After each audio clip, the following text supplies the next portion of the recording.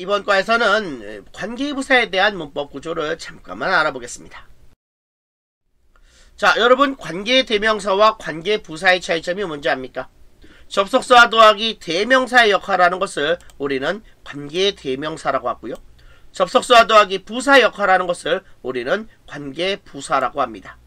관계대명사 뒤에는 주어가 빠진 문장, 소유격이 빠진 문장, 목적격이 빠진 문장, 뭔가 빠져있는 불완전한 문장이 나오고요. 관계 부사 뒤에는 완전한 문장이 나옵니다. 이게 기준이 될 수 있죠. 관계부사 역시 관계대명사와 마찬가지로 선행사가 있습니다. 예를 들면은 선행사가 때를 나타내는 경우 관계부사 when을 쓰고요.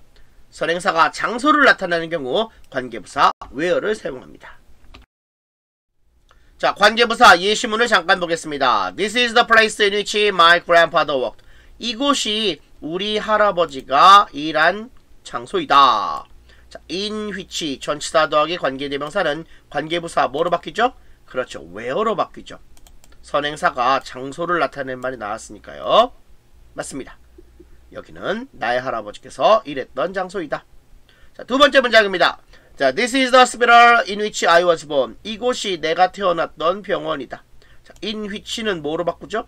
아, 이 선행사가 the hospital이란 장소가 나왔으니까 전치사 더하기 관계대명사는 관계부사 where로 바꾸면 되죠. 왜? 장소, hospital, 장소가 선행사 자리에 나왔기 때문입니다.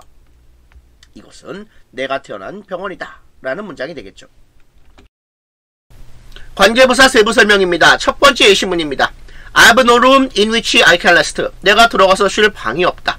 이때 in 다음에 나오는 위치를 생략하지 않습니다. 전치사 in이 나와 있기 때문이죠. 주어진 문장은 I've no room where I can rest로 바꿀 수가 있습니다. 전치사 더하기 관계 대명사가 관계 부사가 된 걸 보세요.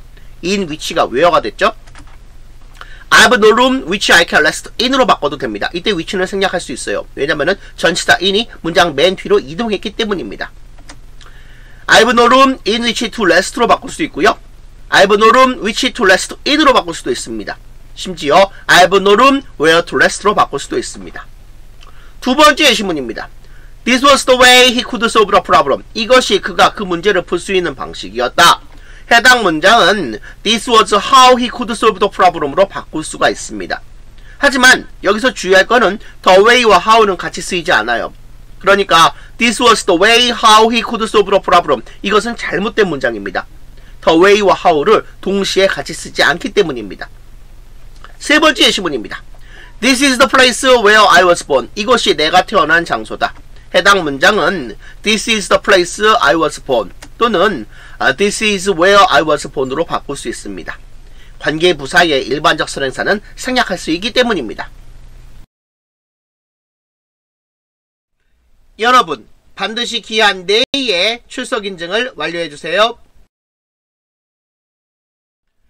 오늘 수업은 여기까지 하겠습니다. 여러분, 수고하셨습니다.